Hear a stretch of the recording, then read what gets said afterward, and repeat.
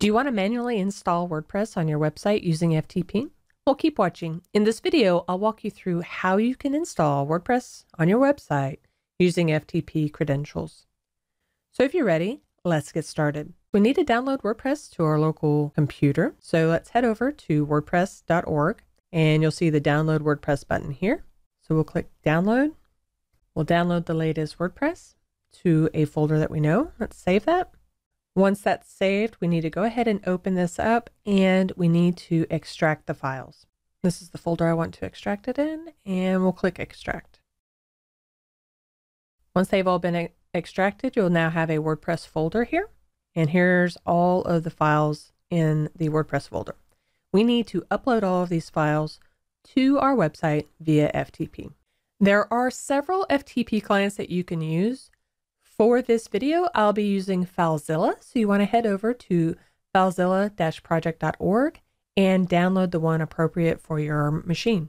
Once you install FileZilla, this is what it will look like. And the next thing we want to do is go ahead and add the credentials to access our website. So let's head over to File, Site Manager. From here, we can add a new site. Under Host, you want to add your website name. Your FTP credentials should have come to you from your hosting provider via an email, or you can also email your hosting provider and ask them for the credentials if you don't know them already. Under Protocol, we'll choose FTP.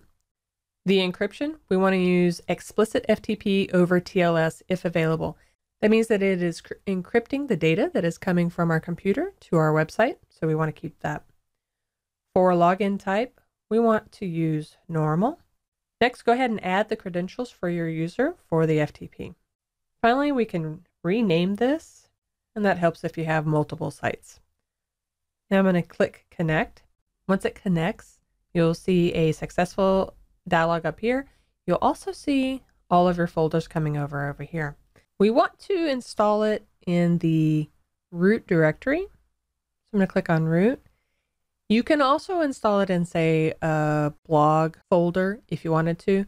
For simplicity and for SEO purposes, we recommend putting it into the root directory. So on the left, I need to copy all of these files and folders. To do that, I'm going to click on the first one, scroll down to the bottom, and I'll hold down Shift click to copy all of the files and folders. We can right click and hit upload. This will automatically upload all of the files and folders to my root directory. All right, once everything is uploaded, we need to go to our cPanel and we need to create a database.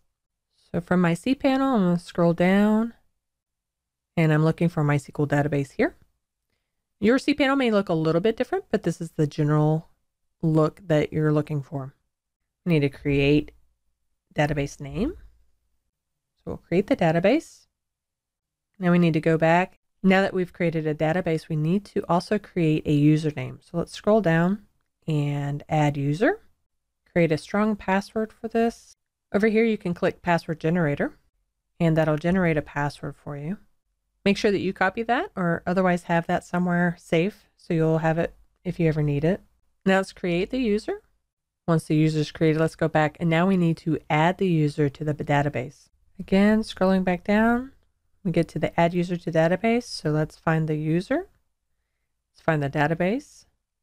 And let's click add. Once we click add, it'll tell us what privileges do we want. We need to allow all privileges and make changes. Great. The user has complete control over this new database, so we're good to go there. Now that we've created the database and we've uploaded WordPress, we need to go to our web address to finish the installation. So I'm going to click out of full screen so you can see my address bar. Type in your web address. And when you type in your web address, you'll see this. From here, you can choose whatever language you want your WordPress site to be in. We'll pick English US. And now you need to have this bit of information. So let's click Let's Go. Make sure you fill in all the information like you see here. Database host is usually localhost, so keep it like that. And then click Submit. All right, from here, you get a welcome screen where you can fill out the site title the username that you will use to log in to your WordPress website. Make sure you fill out a password and then make sure you fill out your email address to receive admin emails for your website. Now, if you're not ready for search engines to look for your site, then you can click discourage search engines from indexing your site. we're not going to do that. We'll just click install WordPress. And now you get a success screen where you can now log in. So let's click login. You can add your username and password here. And if you want, you can click remember me so you don't have to do this every time. We'll click login. Congratulations, you successfully installed WordPress using FTP on your website. Did you learn something from today's video? If so, subscribe to our YouTube channel and we'll send more helpful tips to help you manage your WordPress website. And thanks for watching.